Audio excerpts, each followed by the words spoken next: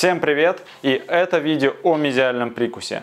Данная патология достаточно неприятная, так как влияет не только на состояние зубов и, собственно, прикуса, но и сильно изменяет внешний вид человека. В этом видео мы разберем, на что влияет мезиальный прикус, из-за чего возникает и как же его лечить.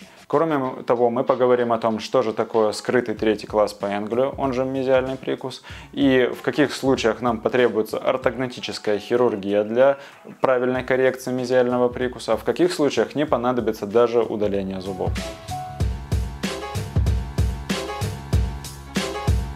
Мезиальный прикус встречается заметно реже дистального, о котором мы сняли отдельное видео, по крайней мере у европеоидов.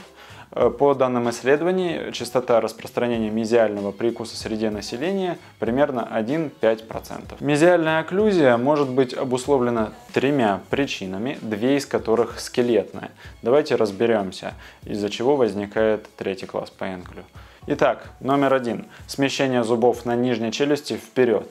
Э, ситуация довольно частая сама по себе, но она чаще всего сопровождается смещением нижней челюсти назад, которое приводит к возникновению дистального прикуса, о котором мы говорили раньше. Э, но в некоторых случаях нижняя челюсть остается на своем месте, э, и, соответственно, возникает данная патология. При этом передние резцы чаще всего смыкаются стык в стык, а боковые зубы смыкаются не слишком хорошо, и имеется явная скучность на нижней челюсти. Чтобы решить данную проблему, необходимо дистализировать зубы с помощью мини-винтов, о которых, кстати, мы говорили в этом видео, либо в э, случаях очень серьезной патологии может быть показано удаление двух премоляров на нижней челюсти. Но, повторюсь, такие случаи крайне редки. Номер два – это ретро-позиция на этот раз верхней челюсти. Э, патология не слишком частая, но передается по наследству, то есть обусловлена генетическими факторами.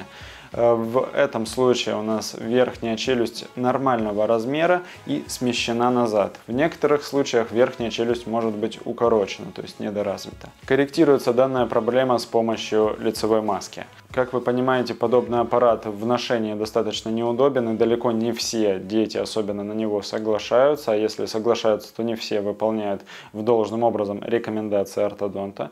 Тем не менее, это единственный способ сместить верхнюю челюсть вперед.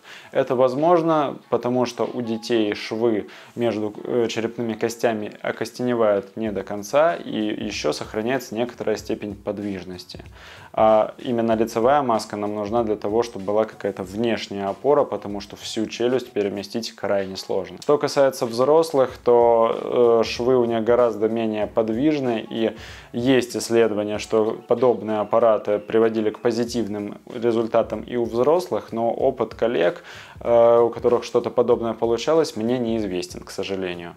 У взрослых подобные аномалии корректируются только с помощью зубов, то есть это ортодонтический камуфляж, при котором у нас верхние зубы наклоняются немножко вперед, нижние немножко назад, и этим самым достигается коррекция несоответствия размеров верхней и нижней челюстей. Данная патология редко настолько сильно выражена, что вот никак не получится обойтись без ортогнатической хирургии, и, соответственно, ортодонтический камуфляж, то есть вот лечение с помощью брекетов приносит вполне себе неплохие результаты. Ну, естественно, если вы хотите радикально изменить ситуацию, чтобы не было никаких даже маленьких компромиссов по профилю, по прикусу, по наклону зубов, то в этом случае вам поможет только ортодонтическое лечение совместно с ортогнатической хирургией. Номер три. Макрогнатия. Увеличение размеров нижней челюсти, если по-русски.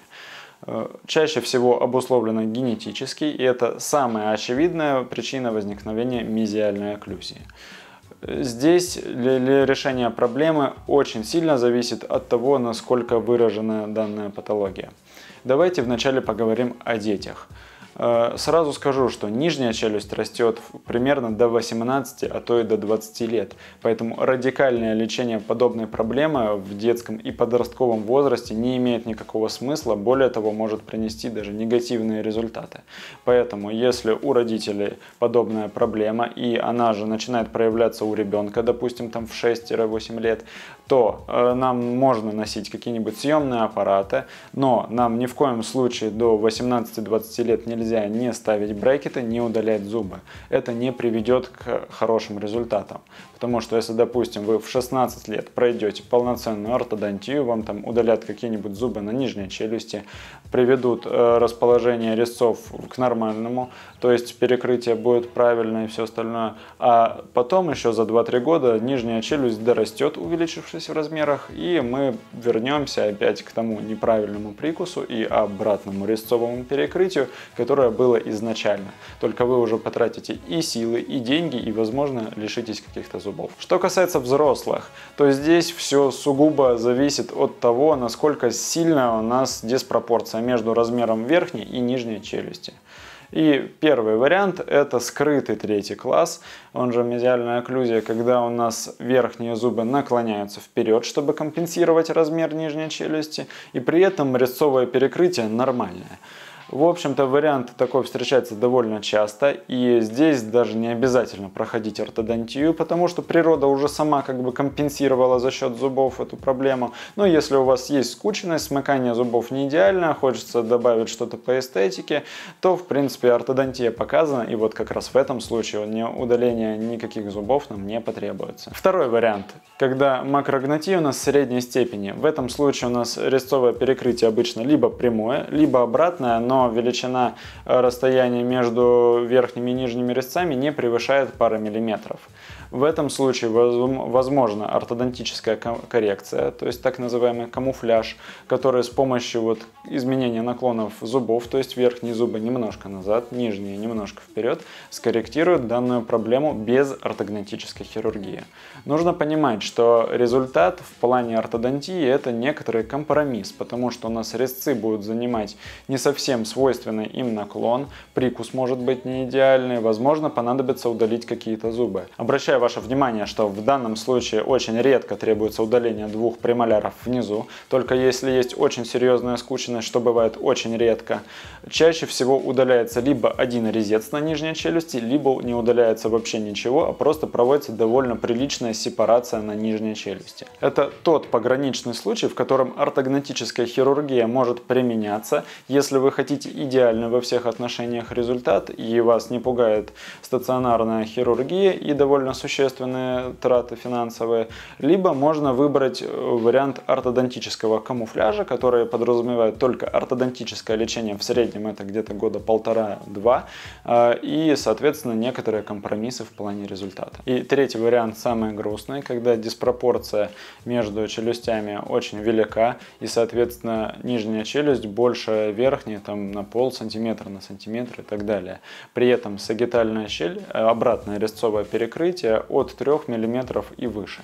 Хотя зависит, конечно, от каждой конкретной ситуации подобных случаях применение ортодонтии в отрыве от хирургии ортогнатической не имеет никакого смысла. То есть сами по себе брекеты не улучшат ваш прикус, не улучшат эстетику, к сожалению. Поэтому здесь варианта два. Либо ничего не делать, либо настраиваться на полноценную ортодонтию вместе с э, хирургическим вмешательством. Такие случаи, к счастью, встречаются достаточно редко. В среднем это не более 10% от всех пациентов с мезиальной окклюзией, которых самих по себе не слишком много, поэтому встречается такая проблема у европеоидов достаточно редко.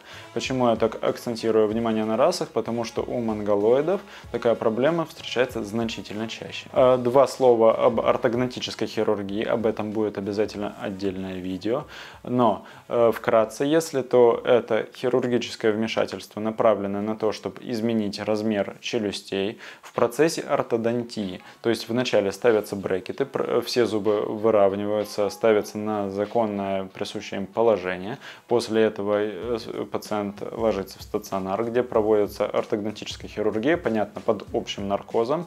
И после этого еще в течение в среднем полугода-года ортодонт доводит результаты уже прикуса и эстетику до идеала. То есть, по сути, это та же ортодонтия плюс еще операция. В сумме все это занимает где-то около двух лет и по стоимости довольно недешево. То есть в среднем там э, цена за все мероприятия это около полумиллиона рублей. Если это видео было вам полезным, пожалуйста, поддержите наш канал своей активностью. Ваши лайки поддерживают нас и придают нам сил делать новый контент. Кроме того, наше видео увидит больше людей. Качественного и легкого ортодонтического лечения вам. До встречи!